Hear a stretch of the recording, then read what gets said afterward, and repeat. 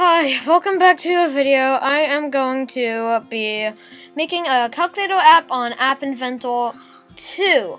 This is part 1 of the video. So you're going to go up here and you are just going to hit create apps. You cannot see it on the screen right now, but right above my mouse there is the create apps button.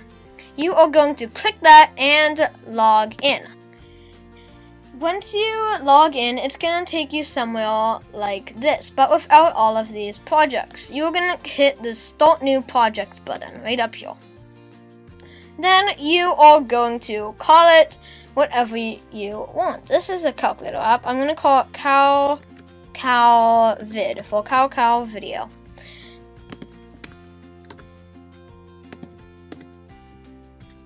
So you're just gonna click OK, and as you can see, I have a space. You're gonna have to get rid of that space and click OK. If your project already exists, that means you can't do that project.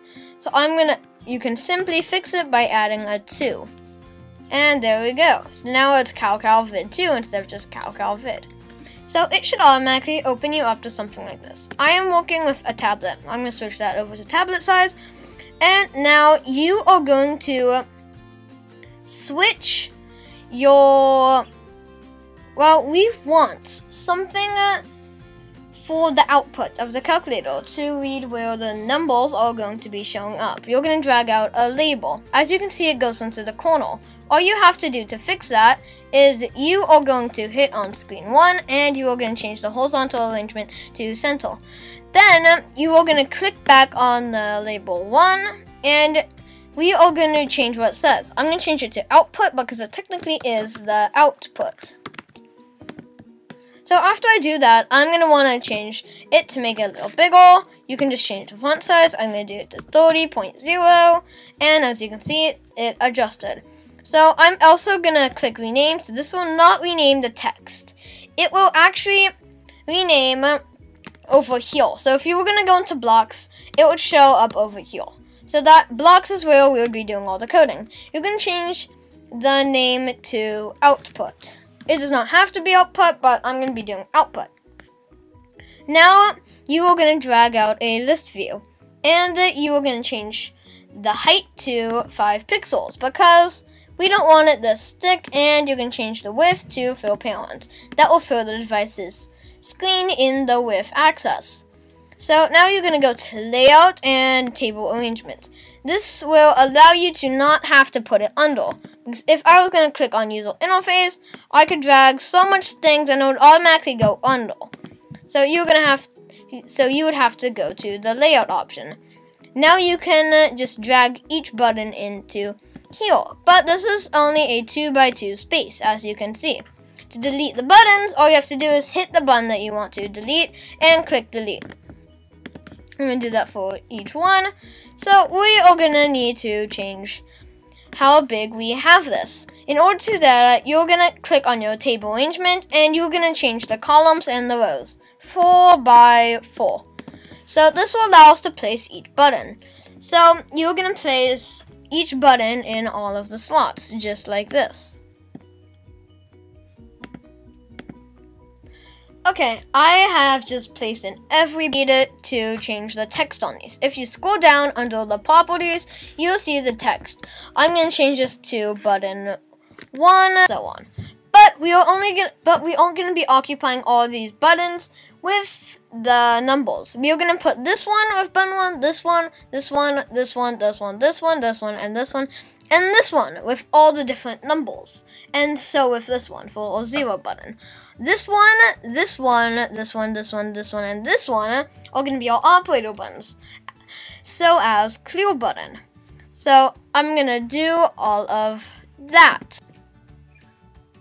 So as you can see, we we have entered in each button. So we are going to need to add in all the operators. This is going to be our clear equals division times minus and plus buttons. So I will see you when I do that. Okay, so now that we have done all of that, you know the buttons are different sizes, and they are absolutely tiny. to fix this problem, we are gonna click on the button and you're gonna see height and width. You're gonna change this to the height and width you want. I'm gonna do 100 pixels by 100 pixels. Make sure you click the OK button when you're done. So I'm gonna do that for every key. So now that that is all done, as you can see, we have so many buttons. And so we have so many buttons. We're going to need to change this. In order to do that, you're going to click on the button that you want to change over here. And you're going to click rename. I'm going to do the, I'm going to do and you cannot do one because if you click OK, it has to start with a letter. So I'm going to do B1 for button 1. Same with button 2, button 3, button 4, button 5, button 6, button 7, button 8, button 9, button 10, and all the other buttons. And I'm going to do plus, minus, times, division, equals, and clear. Okay, so we are now done with the user interface. There's this blocks button right here. You can't really see it, but you are going to click on that and we are going to get to work. What you are going to have to do is, I'm going to start off with doing button 1. You're going to do when button 1 dot click do, and you are going to go to, and then you are going to go to the variables, and you're going to do set, and then we don't have any variables yet. We're going to have to make a variable you're gonna hit initialize global variables. You just have to tab on variables, drag out initialize global variable, and you're gonna go to math, and you're gonna drag this out. We are gonna keep this at zero because this is gonna be number, and I'm gonna change the name to F1 for factor one. This is gonna be our first factor. I'm gonna change F1 to something because we're gonna hit the button key. So I'm gonna set this to something. I am going to set it to, I'm going to set it to what we clicked.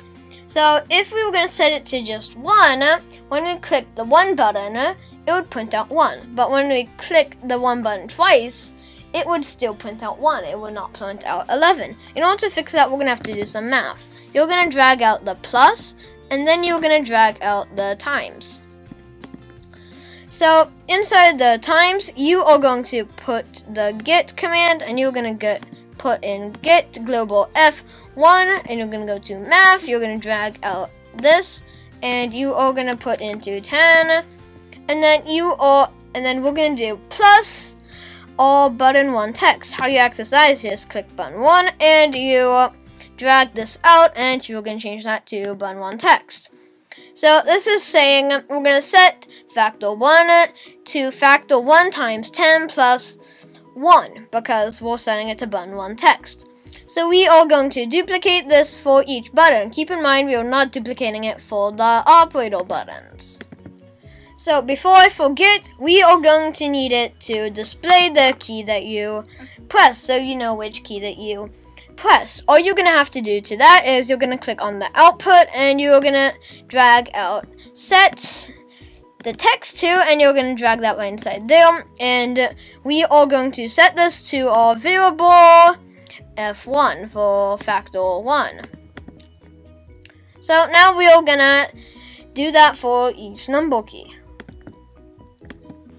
Okay as you can see we have so many x's. That's because we have more than one thing to do when you click one key. So in order to change this, I'm just gonna start. We're gonna hit change that to button 0 and this to button 0.